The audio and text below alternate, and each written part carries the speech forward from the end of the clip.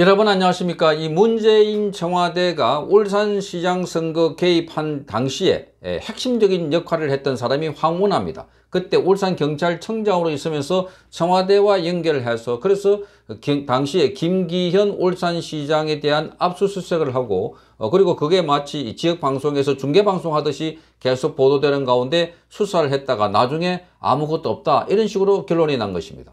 그러다 보니까 유, 어, 김기현 당시 울산시장이 앞으로 쭉 나가다가 어, 수사 때문에 어, 비리가 있는 것처럼 비춰져서 결국은 낙선을 했던 겁니다. 자, 그 당사자인 이 황운하, 황운하 의원이 같은 당 의원들에게 윤석열 정부 출범 전에 검찰 수사권 폐지 법안의 우선 처리를 호소하는 편지를 보냈습니다. 그런데 이 편지 내용이 아주 충격적입니다. 결론부터 말하면 검찰의 6대 범죄를 어, 이 수사권 조정을 통해서 어, 그, 그 박탈하자 하는 건데 6대 범죄 수사, 수사가 경찰에 가는 게 아니라 바로 정발한다. 6대 범죄 수사는 지금 음, 검찰이 하고 있지만 이것조차 없애버리면 이게 고스란히 경찰로 가는 게 아니라 국가 수사 역량이 그만큼 줄어들기 때문에 자 검찰권이 오남용되는 걸 막을 수 있다 이런 취지로 설명을 했습니다. 자 이게 아주 충격적입니다. 그러니까 수사를 하지 말자는 이야기와 똑같은 겁니다. 그러니까 이 범죄자들이 할개를 칠 수 있는 어, 마당을 마련해 주자 극단적으로 그런 표현이 표현으로도 들리는 겁니다. 자, 이 편지 내용을 보고 검찰의 한 간부는 자, 어떻게 이렇게까지 노골적일 수가 있느냐 하면서 이 놀라는 표정을 지었습니다. 얼마나 지은 죄가 많길래 권력자에 대한 수사 총량을 줄여야 한다는 걸 검찰 수사권 폐지의 이유로 드는지 의문이다 이렇게 말했습니다. 수사가 정발되면 기소될 일도 없으니까 범죄자들만 환영할 어처구니 없는 논리라고 비판을 했습니다. 자, 이런 이유가 바로 본인이 지금 수사를 받고 있고 본인이 재판을 받고 있기 때문에 본인이 재판을 받고 있기 때문에 그래서 황운하는 계속해서 이 검찰에 대해서 수사권을 독립해야 된다. 이렇게 주장해왔던 당사자이고 그리고 울산 선거 개입 이거 관련해서 수사를 받는 와중에 국회의원에 출마를 했고 그때 당시에 이 그 경찰 신분으로서 당선이 되었습니다. 아주 희한한 음, 상황이었습니다. 원래 경찰 공무원 신분으로서는 국회에 출마할 수가 없, 지만 그러나 어, 그때 이 수사를 받고 있기 때문에 그래서 검찰 어, 경찰에서도 황운하에 대해서 이 사표를 수리해 줄 수가 없던 것이었습니다. 그러니까 비위가 있거나 입건됐거나 수사가 진행 중인 사람에 대해서는 자 이 이 사표를 수리 못하기 때문에 그래서 사표가 수리 안 되는 상황에서 본인이 어, 대전에 출마를 해서 당선이 된 겁니다. 그래서 이 국회의원이 된 게 자기가 비리가 있으니까 청와대 울산시장 선거계의 비리가 있으니까 그걸 막기 위해서 방어 역할을 하기 위해서 그래서 출마했다 하는 비판을 받아왔던 것입니다. 자, 어쨌든 지금 이 황운하의 논리를 보면 자, 공직자 부패 경제 선거 방위 사업 그리고 대형 참사 등 6대 범죄 수사는 불효불급한 수사라며 아예 없애겠다 하는 속내를 드러낸 것입니다. 자, 정치권에 따르면 황운하는 A4 어, 두쪽 분량의 편지에서 자신이 발의했던 중대범죄수사청 법안을 추진하자니 쟁점이 많아서 논의가 길어지면 5월 9일 이내 법안 공포가 어렵다는 지적이 있었다. 이렇게 말하면서 그래서 시급한 법안인 검찰의 직접 수사권 근거 조항 삭제 법안부터 먼저 처리하고 5월 10일 이후에 보완책을 마련해 나가자 이렇게 말했습니다. 그러니까 어, 지금 어, 이 검수완박을 다 어, 처리하면 시간이 많이 걸리니까 먼저 5월 9일 이내에 그러니까 윤석열 정부가 출범하기 이전에 먼저 검찰의 직접 수사권을 할 수 없는 그런 조항부터 어, 만들자. 그러니까 검찰 수사권 근거 조항부터 삭제하자. 이렇게 주장하면서 뭔가 다급하게 추진하고 있다는 걸 보여주고 있습니다. 그러니까 먼저 일단은 검찰이 수사 못하게 해놔놓고 그 다음에 이게 어디로 갈 것인지 그 다음에 이걸 어떻게 조정할 것인지 이걸 논의하자 이야기를 하고 있는 것입니다. 자 황운하는 이어서 경찰권 비대화 우려와 관련해서 검찰 수사권이 폐지된다고 해서 자 기존의 검찰의 수사 영역이 온전히 경찰로 수평 이전되는 것은 아니다 이렇게 말했습니다. 그러면서 검찰 수사 영역인 6대 범죄는 자 불효불급한 수사가 많고 최소화하는 방향으로 축소돼야 한다 이렇게 말했습니다. 그러면서 지금도 일에 치이고 있는 경찰이 이 부분을 다 감당할 수 없을 것이고 결과적으로 국가수사 총 총량이 줄어들게 된다 이렇게 설명했습니다.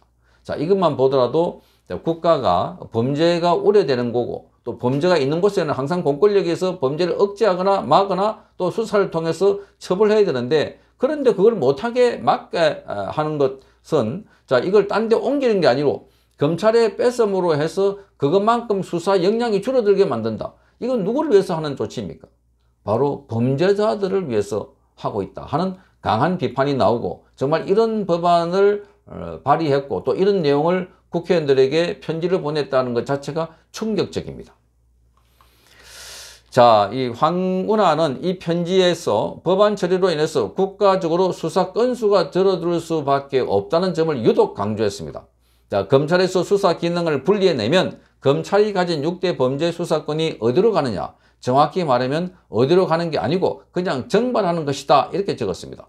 자, 수사, 아, 국가 수사 총량이 그만큼 줄어들어야 되는 것이라고 거듭 설명했습니다.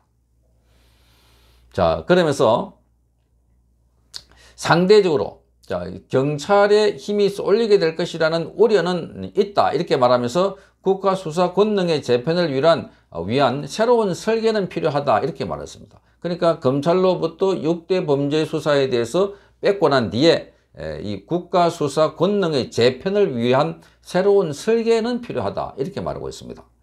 자, 작년부터 시행된 검경수사권 조정제도의 단점 보완을 우선하고 새로운 검수완복 제도의 도입에 신중을 한다는 지적을 의식한 듯이 차악일 수도 있다. 차악. 나쁘지만 최악으로 나쁜 게 아니고 그 다음으로 나쁜 수가 있을 수가, 어, 그 다음으로 나쁜 수가 될 수도 있는 새로운 제도 도입에 대한 단점을 지적하면서 어, 완벽한 제도 설계를 준비하자는 건 사실상 검찰개혁에 반대하는 주장과 다름없다. 그러면서 자 그러니까 금수완박이라고 하면서 6대 범죄를 빼앗고 그 다음에 그걸 어떻게 조정하고 하는 것까지 다 못하니까 우선은 검찰이 수사부터 못하게 하는 것부터 어, 시작하는 게 그게 필요하다. 이렇게 아주 서둘고 있는 것 같습니다. 그러니까 검찰에게 수사권을 주지 말자는 것이 지금 황운하가 아, 이 추진하고 있는 일의 핵심인 것 같습니다.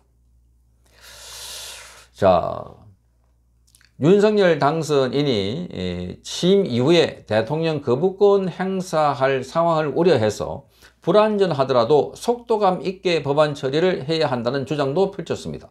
자, 황원하는 이렇게 말합니다. 결론적으로 모든 우려가 해소되는 완성도 높은 수사와 기소 분리 방안을 윤석열 당선인의 거부권 행사 이전에 마련하자는 건 하지 말자는 의미와 다르지 않다. 이렇게 말하면서 검찰 수사권 폐지 이후에 후속 법안을 어떻게 마련할지는 5월 10일 이후에 논의해도 늦지 않다. 이렇게 말했습니다. 그러니까 후속 법안까지 윤석열 검찰총장이 대통령으로 어, 이 취임하고 난 뒤에 그때까지 다 마련하자는 것은 자 검찰 어, 수사권 폐지 또는 어, 이 검, 검찰 개혁을 하지 말자고 똑같아 이렇게 말하면서 우선은 어, 이 수사부터 못하게 막는 것이 급하다.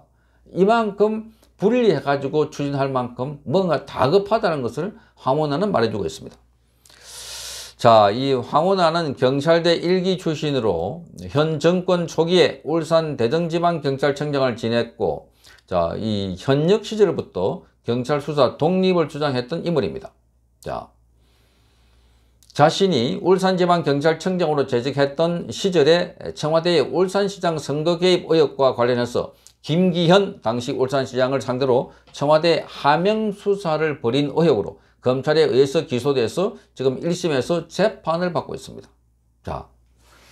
자, 이걸 보면 지금 황운하의 처지가 어떻는지를 왜 이런 발언을 했는지를 알 수 있는 대목입니다. 그러니까 아예 지금 그 범죄 수사의 일정 부분을 검찰에서 뺏고 난 뒤에 국가수사기관의 역량을 현저하게 줄이는 아, 그런 이 말하자면은 대악을 추진하고 있다 하는 점에서 황운하가 검, 경찰 출신 또는 검찰 출신 어떠한 간에 대한민국의 이 수사권을 갖고 있던 사람이 맞느냐 싶을 정도입니다. 어떻게 해서 범죄 수사 역량을 약화시키고 줄여버리자 이런 말을 하는가. 과연 누구 편에 서 있는가 하는 것을 단적으로 알 수 있는 대목이어서 정말 충격을 주는 오늘 어, 이 뉴스였습니다. 성창경 TV였습니다.